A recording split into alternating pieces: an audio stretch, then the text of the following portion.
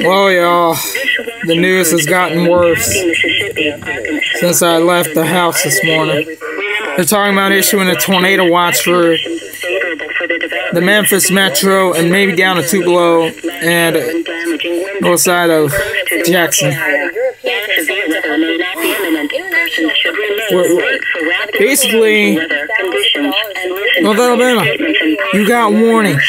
Even though you're not under alerts yet, just know, just know it's the only a matter of time. Projects have not yet been announced. I'm listening to WXK 43 in Memphis right now, waiting for that new watch to get issued. Okay, here's the new moderate risk thing. And that hashed area is still there.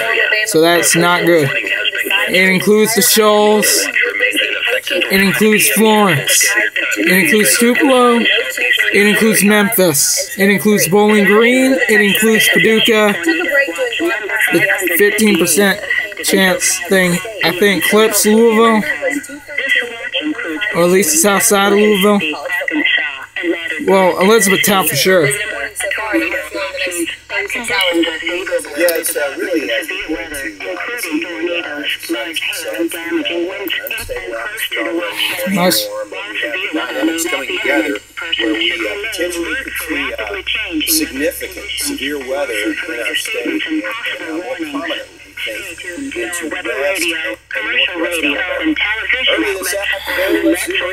We got a couple of uh, thunderstorms. Now, these have not reached severe limits. Time is it's gonna 11, be 18 pretty hard here in Greensboro up through uh, just to the northwest of Heiberger and uh, headed from uh, just south of Duncanville. This is moving into uh, western parts of Bibb County to the uh, north and east. Let's take a look at some other spots and some, some busy roadways. 2% chance of to tornadoes where I live. uh, last-minute 5% chance for the shopping. We're gonna have Midlands and North most of Georgia. Alabaster up through Birmingham. Oh, now you wanna move. 59 is wet, and I'm sure we've got traffic out there to add to the to the confusion. And along I-20 going toward uh, Anniston, Oxford, the shopping mall there, just off the exit, uh, you're going to have some wet roadways and just uh, bringing those presents in from the store and into the car.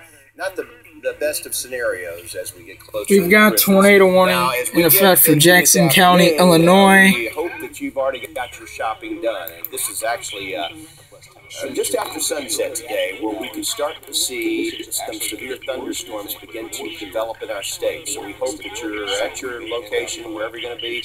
Mobile home's not a good place to be now. Uh, if we have an outbreak of tornadoes, and we certainly have that possibility. The uh, areas you see here, this is kind of a brownish color. Uh, this is an enhanced uh, spot for where we can see uh, active tornadoes. And right up here, this uh, corner of the state, that's probably our highest risk. The Nation Storm Prediction Center has put that under a moderate risk of seeing severe storms. By the way, if you're traveling westward today into, into Mississippi, I would see if you could delay that travel until tomorrow because we could see uh, a very dangerous situation uh, in this red area over here into uh, Mississippi.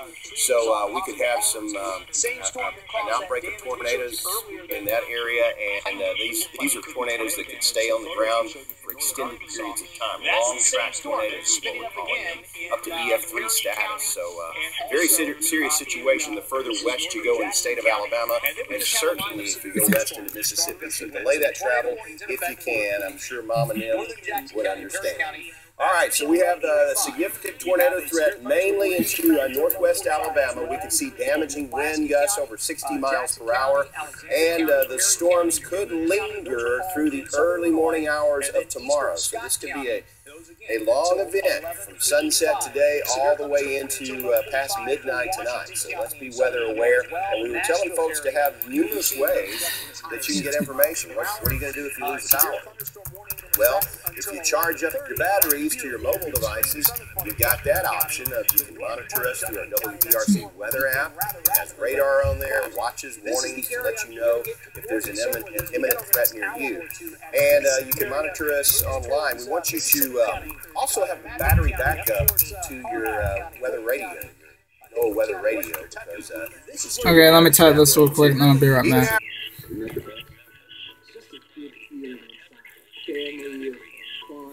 Well, I honestly think the next watch that gets issued for the Metro in Northern Mississippi is going to be issued as a PDS because uh, the real concerns about long track strong to violent tornadoes.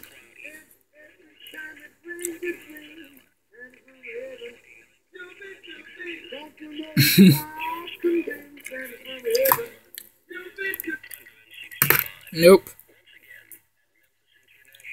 I'm just waiting for them to issue the new watch. I want to see what kind it's going to be. There's going to be a high risk tornado watch, but We'll see how high risk is it. Tornado wants with high risk for you know the you know for the tornado threat or a high risk for both the high risk for the tornado threat and the threat for EF2 or stronger tornadoes or it's either moderate risk for EF2 or stronger tornadoes I mean it would be PDS if both of them are high numbers now we're just watching and waiting. The SPC saying they're going to issue one within the next hour, and they said that about 50 minutes ago. So this is something to be very concerned about. I did not expect Nashville to get act, added to the list or Bowling Green, but they're they're they're legitimately concerned about a full-fledged tornado outbreak.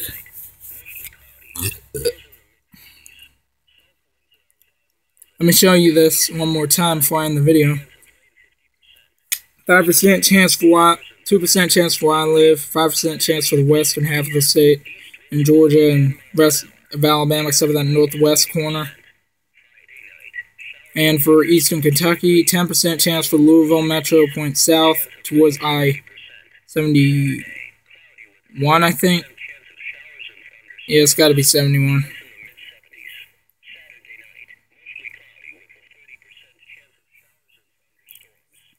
then we got the 15% chance that includes the southern sides of Evansville, down to Harrisburg. Then we got that hatched area here around, hmm, maybe Stuttgart, Arkansas to, uh, Tupelo to the Shoals to Nashville. That includes Memphis and Jackson, Tennessee. And I think Fort Campbell and Bowling Green in Kentucky. So this is a very dangerous setup right here. We've already had a fatality from a tree falling on a house in Arkansas, the person in it. So this this is a very dangerous storm system. Just waiting on the watch, like I said. But I'll keep you posted throughout the afternoon. Expect multiple videos. Because I'm pretty sure I'm going to have to, you know, transition between two, maybe three transmitters at the exact same time, or at least at one point today. I'm going to stick with Memphis for right now, switch to Corinth, which is in northeast Mississippi, and then switch to Nashville to storm moves east. Corinth is going to be for the supercells that develop in northern Mississippi.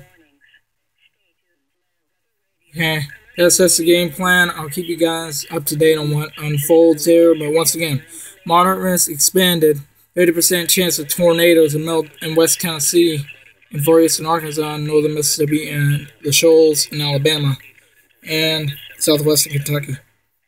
Did not expect that, but whatever.